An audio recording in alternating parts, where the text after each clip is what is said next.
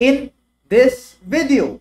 The Bitcoin bullish divergence which we mentioned in the prior videos has played out exactly as predicted.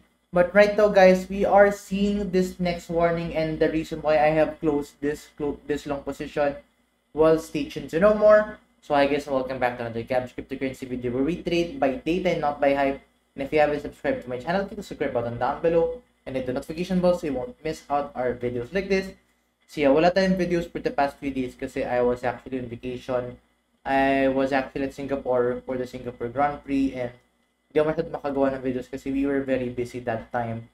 But yeah, right now, I'm now back in Manila so we can now actually make videos na again and we can give you an update regarding the crypto market. So right now, what is happening with the Bitcoin price action? So let's now dive into this video and let's give you first a quick recap of our previous analysis. So in our previous analysis, what we were monitoring was this declining price, eh, a declining price, while RSI was increasing. So traditionally, whenever not we are seeing those movement, that is a traditional sign of a bullish trend reversal. So right now we are currently seeing that playing out. As you can see, we have seen a bullish trend reversal. And if you're going to zoom out, you can actually see now we are also forming a lot of resistances dito. You can see now we have been forming that resistances dito kay Bitcoin price action.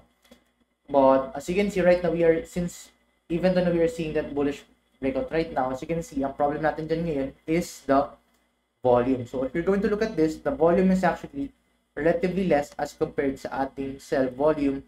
In the previous bullish divergence, mas malaki ang ating buy volume nga as compared sa sell volume. So in this case, typically, mas maganda mag-trade na ganun kasi if mas pataas yung buy volume, then doon more likely to play out yung ating bullish divergence. But in cases like this na walang ganong buy volume, then this can actually more likely lead into a fake out anytime soon. So, as much as possible, we have to be very careful dito. In this case, nag-close muna din ako ng long position kasi if you're going to zoom in in the 4-hour time frame, there is also another indicator na we are currently seeing. And that is this increasing price while the RSI is declining. So, in the shorter time frame, meron tayong nakikita na bearish divergence. So, it's also possible na makita tayo na malaking bullish divergence in the daily time frame while in the short term may bearish divergence. In this case, this bearish divergence is going to be a very quick divergence lang. I don't think that this is going to take long days. I think this is just going to take around few months, a few hours lang. Kasi as you can see, this is just in the 4 time frame as opposed to the daily time frame. So in this case, I think you might potentially see Bitcoin go down muna for a bit up until the 26,500. But I don't think Bitcoin is going to be in a continuous downtrend for the time being, especially na may malaki tayong bullish divergence. So I think this is just going to be a short-term trade. In this case, this is a very risky trade. I don't put big trades mga ganitong movements like this. So in this case, I'm just going to trade this for a bit up until the 26.5 lang and then after that, i-close ko na yan. Then wala na akong gagawin din with the trade. And siguro places stop loss lang around the 27,250 around that area, 27,300. So yeah, as mentioned, I won't be opening a big trade for this. This is just a very small trade kasi as you can see, yung nangyayari dito. And initially, ang target natin is the 28,800 and 31,000.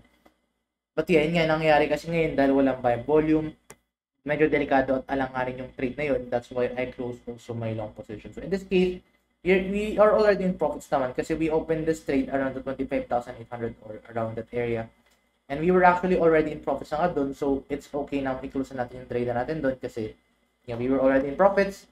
So, in this case, I am now currently trading this very small trade right now with the Bitcoin price action and I don't expect any massive move for the time being now with regards to this.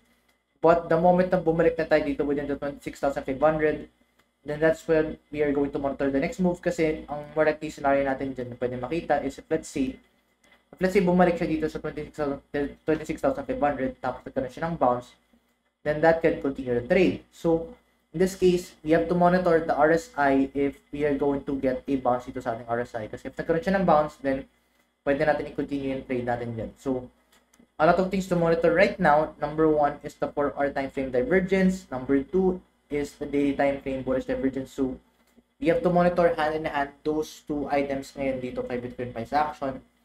And yeah, on top of that, if you're going to look at this, meron din tayo actually nag-form na potential na rising channel or rising wedge. You can see this in the 4 time frame. So in this case, if let's say this is going to break down then this is likely going to follow this bearish divergence na pinakita nga natin. So, right now, a lot of things are playing out with uh, our latest analysis. So, we have to monitor this in the next few days if this is going to play out, especially now we are seeing this bearish divergence right now with the Bitcoin price action. And yeah, if di pa kayo marunong mag-open ng short position dito kasi ang difference sa short position is you are trading that the Bitcoin will go that the Bitcoin price will go down as opposed to backyard. If you want to learn how to open a short position, make sure to check out our Gabs Crypto 101 playlist para matutunan nyo on how to open a short position. Pero if let's hindi pa kayo marunong mag-trade, make sure to check out our Crypto 101 tutorials on different indicators muna kasi delikado mag-trade if hindi nyo pa alam paano yung mga iba't ibang indicators. So make sure to check out our tutorial playlist muna before entering into a new trade dito sa crypto market.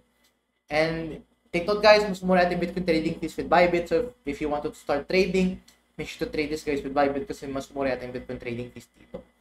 But anyway, yun muna update natin for the time being. If you find this video useful and informative, please give this video a like I'll see you guys in the next video. Bye-bye for now.